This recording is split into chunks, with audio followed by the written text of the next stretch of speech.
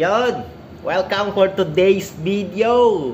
So ngayon, titirahin natin is yung international time zones. Try natin explain ng onte kung maintindihan. So ayan, start natin. Ang mundo ay nahahati sa 24 time zones. Ayan. 24 lahat yan. Its zone is 15 degrees. Yung diferensya niyan, 15 degrees. Yan lahat.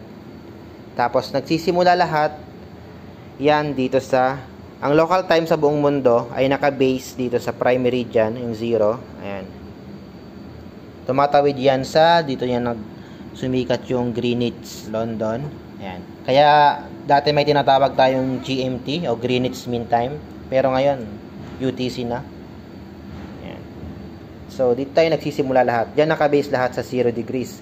So, 7.5 papunta sa kabila east, tapos 7.5 west, papunta sa kabila naman, so 15 degrees total niya. Ayan. So, pag papunta ka ng east, travel ka easterly, plus 1, plus 1, plus 1, plus 1 kada time zone. Magdagdag ka ng isang oras kada time zone. Tapos pag pa-west ka naman, or westerly, mag-subtract ka ng 1 hour. Kada tawid mo ng time zone. So, halimbawa, galing tayo dito, papunta tayo ng Pinas, ayan, plus 1 hour, plus 1 hour, plus 1 hour, hanggang makarating tayo dito sa Pinas. Ang time zone dito is plus 8. Ayan.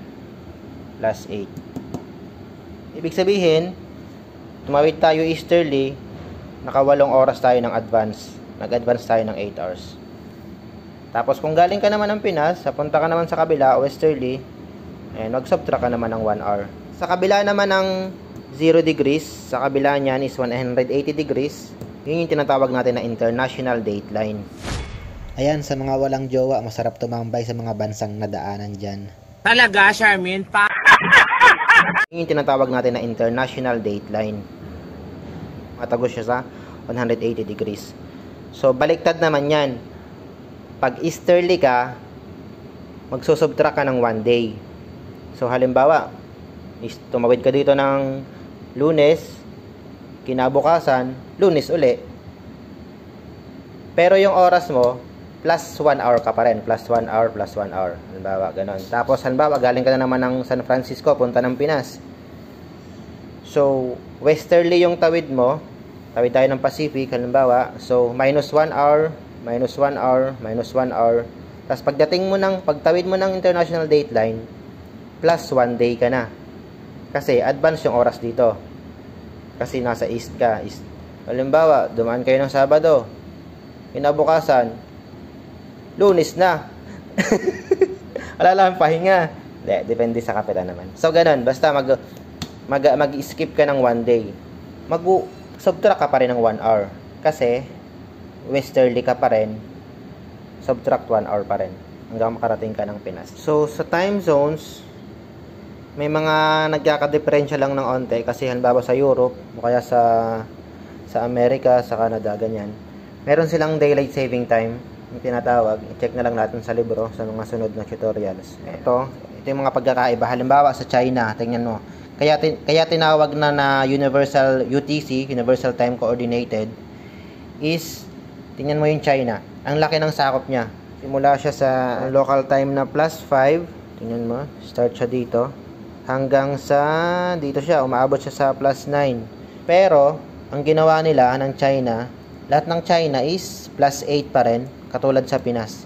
Hindi na nila hinati-hati kada zone yung oras kasi gusto nila coordinated lahat ng oras ng isang buong bansa. So, ayun. Yung mga may mga pagkakaiba din ng onte. Pero pag nasa dagat tayo dito, and yung time zones, applicable siya pag nasa dagat tayo. Every 1 hour nga, di ba? Every zone, mag-a-add tayo ng 1 hour. Pero pag nasa lupa tayo, ayan, standard time yung ginagamit natin. Yung halimbawa nga yung sinabi ko kanina, yung sa China, Ayan. Ilang zones yung hawak nila? 1, 2, 3, 4, 5. Pero isang oras lang sila. Standard time. Pero pag nasa dagat tayo, susundin pa rin natin yung zone times. Add tayo every 1 hour plus 6. Tapos ayan, plus 7. Ayan, yan, ganyan. Color coordinated naman yan lahat. Ayan, nakakita mo plus 2, Ayan. Color yung green, plus 3.